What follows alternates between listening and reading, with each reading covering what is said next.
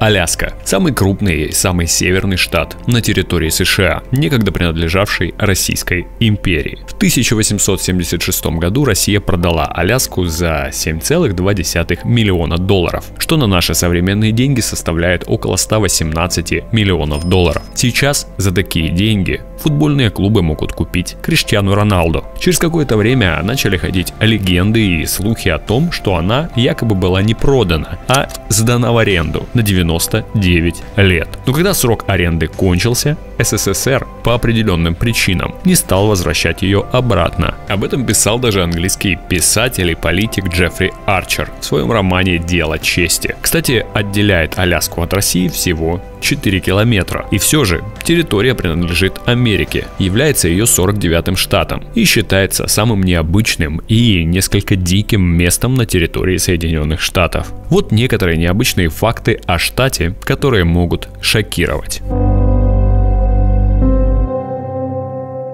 Конце 19 века на Аляске, а также в регионе Клондайк в Канаде началась золотая лихорадка. Неорганизованная массовая добыча золота. Случилось это после того, как 16 августа 1896 года золотоискатели Джордж Кармак, Джим Скукум и Чарли Доусон нашли золото на ручье, который впадал в реку Клондайк. Новость об этом разлетелась за год и привела на территорию и других золотоискателей. Тогда, правда, золото мог найти в среднем только один искатель из 200. В то время время цены были невероятными. Килограмм картофеля в буквальном смысле слова был на вес золота. Золотоискание в каком-то смысле стало достопримечательностью Аляски. И поискать крупинки драгоценного металла тут может любой желающий, даже иностранный турист. Пожалуй, Аляска – штат с самыми странными законами в Америке. Например, здесь запрещается будить медведей, чтобы с ними сфотографироваться. При этом в них разрешается стрелять. То есть, если вы решили пойти на встречу с медведем, для вас же будет лучше взять с собой ружье, а не фотокамеру. Еще несколько законов связано с местными лосями. Во-первых, за животными запрещено наблюдать из самолета.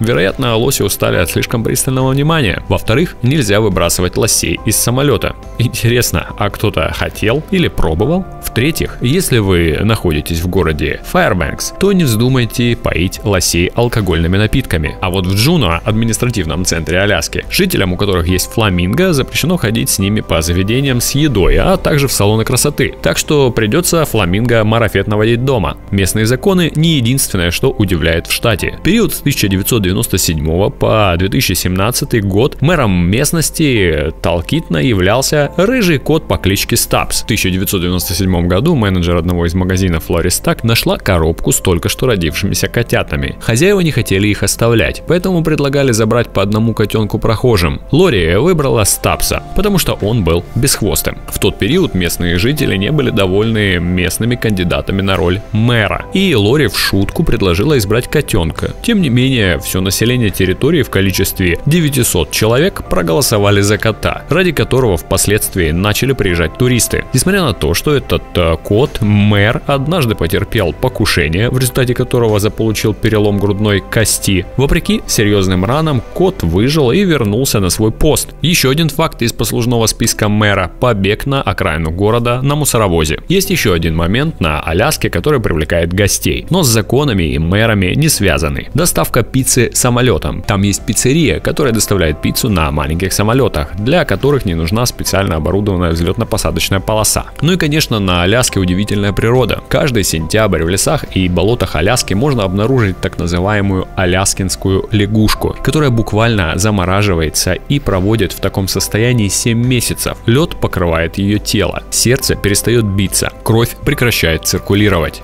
легкие перестают работать. А вот когда приходит весна, вместе с природой оттаивают и оживают лягушки. А самая низкая температура, которая была здесь когда-либо зарегистрирована, минус 62 градуса. Аляску также называют краем полуночного солнца. В некоторых частях штата солнце не садится на протяжении 84 дней в период между маем и августом. Но вот зимой тут период вечной темноты. Зато в поселении Фэрбэнкс у жителей есть возможность любоваться северным северным сиянием на протяжении 243 дней в году. Кстати, на флаге Аляски изображено созвездие Большой Медведицы. Создателем флага является 13-летний мальчик, житель Аляски русско-алеутско-шведского происхождения, выигравший конкурс на лучшее изображение флага штата. Стоит также иметь в виду, что природа здесь не всегда только лишь прекрасна. Цунами, извержение вулканов и землетрясения тоже иногда захаживают в гости на Аляску. Из последних землетрясений одно было зафиксировано 29 июля 2021 года. Оно стало самым мощным в Северной Америке с 1964 года. В результате были вызваны горные лавины и обвалы, а также оползни, которые привели в непригодное состояние железные и автодороги. Тогда толчок магнитуды был 9,2 балла, в то время как во время Великого Аляскинского землетрясения 1964 года только лишь 8,4. Всего на Аляске более 30 вулканов, действующих 3. Это Большой Ситкин, Семисопочный вулкан и вулкан Павлова. Последний считается одним из самых активных в штате. Он извергался как минимум 40 раз. Рядом с вулканом расположена еще одна вершина, которую называют сестрой Павлова. Что касается цунами, то в истории зафиксирован только один случай в июле 1958 года. В заливе Литуя на юге-востоке Аляски произошло самое мощное стихийное бедствие, получившее название